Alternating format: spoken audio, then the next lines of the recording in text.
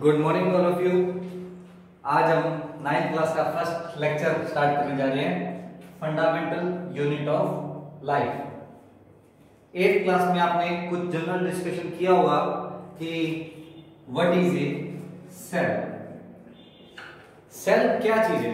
Cell हमारी body की basic unit है, जिसकी एक हम डेफिनेशन लिखते हैं. It is the structural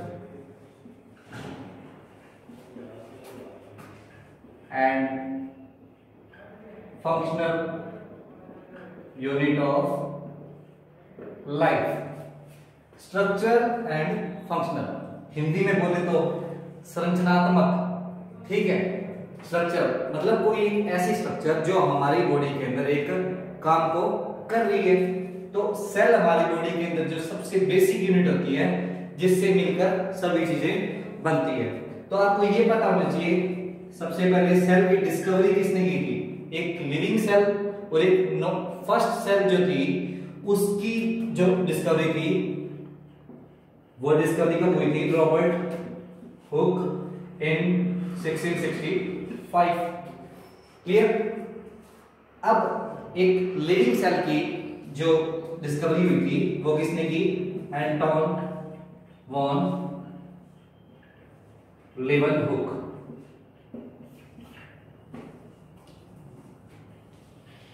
ये एक सेल है।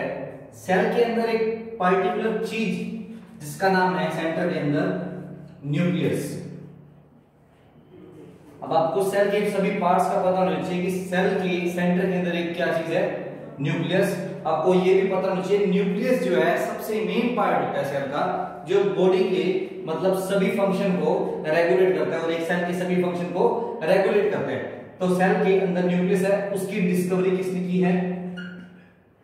रॉबर्ट ब्राउन किसने? रॉबर्ट ब्राउन तो सेल के अंदर न्यूक्लियस है, उसके अलावा सेल की आउटर एक लेयर है, जिसे हम बोलते हैं प्लाज्मा मेम्ब्रेन या सेल मेम्ब्रेन क्या नेम है? सेल मेम्ब्रेन प्लाज्मा मेम्ब्रेन किससे बनी होती है? लिपिड एंड प्रोटीन से। Plasma membrane.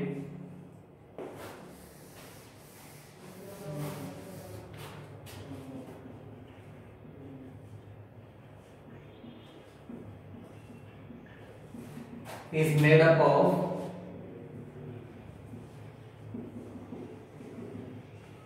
lipids and protein. Plasma membrane के ऊपर एक मॉडल है, जो किसने दिया था? सिंगर एंड निकोलसन ने एक मॉडल दिया था, जो प्लाज्मा मेम्ब्रेन के ऊपर दिया गया है। ठीक है तो उसके अंदर वो इसकी स्ट्रक्चर को डिफाइन करे किस तरीके से लिपिड एंड प्रोटीन की बनी हुई है प्लाज्मा मेम्ब्रेन। क्लियर अब हमें ये पता है कि सेल से हमारी बॉडी बनी है तो आपको ये पता होना चाहिए कि सेल से किस तरीके से हमारी बॉडी फॉर्म हो रही है। जब ग्रुप ऑफ़ सेल मिल जाए तो उसे हम क्या बोलेंगे? टिश्यू ग्रुप ऑफ़ सेल जब क्या बनाएगी? टिश्यू अब जब बहुत सारे टिश्यू आपस में मिल जाए तो वो क्या बनाते हैं? ऑर्गन ऑर्गन जैसे कि हमारी बॉडी के अंदर हार्ट एक ऑर्गन है लंग्स एक ऑर्गन है तो इसी टाइप से ये क्या बना रहे ऑर्गन अब ऑर्गन सभी मिलकर क्या बनाएँगे? ऑर्गन सिस्टम ऑर्गन सिस्टम मतलब जब बहुत सारे ऑर्गन आपस में मिलकर कोऑपरेट करके काम करेंगे तो वो क्या बना रहे हैं?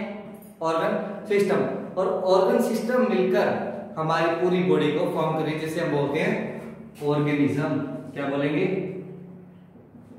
ऑर्गेनिज्म क्लियर अब आपको ये तो पता है कि सेल बना रही है टिश्यू टिश्यू बना रही है ऑर्गन ऑर्गन बना रही है ऑर्गन सिस्टम या ऑर्गेनिज्म अब आपको यूँ पूछ ले कि सेल किससे मिलकर बनी है? और सेल के अंदर क्या क्या कंपोनेंट है?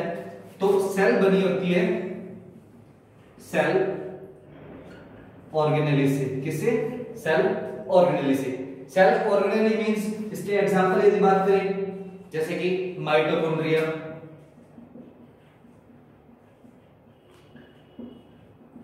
ribosome, Golgi body endoplasmic reticulum,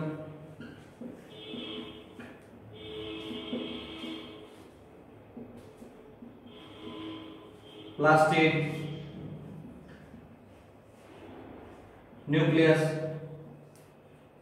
etcetera ठीक है? तो बहुत सारे सेल ऑर्गेनली होते हैं जो मिलकर क्या बनाएँगे? सेल ऑर्गेनली अब एक चीज़ और दिमाग में आनी चाहिए। ये किससे बने?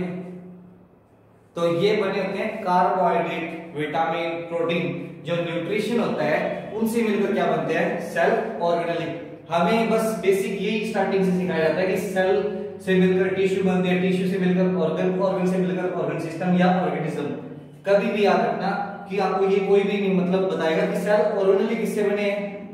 Carbohydrate, protein. सेल ऑर्गेनली मिलकर बनाते हैं, सेल को। तो आपको ये क्लियर होना चाहिए। हम सभी पार्ट्स को डिस्कस करेंगे। तो आज के लिए इतना ही। आप इसको लर्न करो। नेक्स्ट वीडियो में हम आगे फिर मिलते हैं।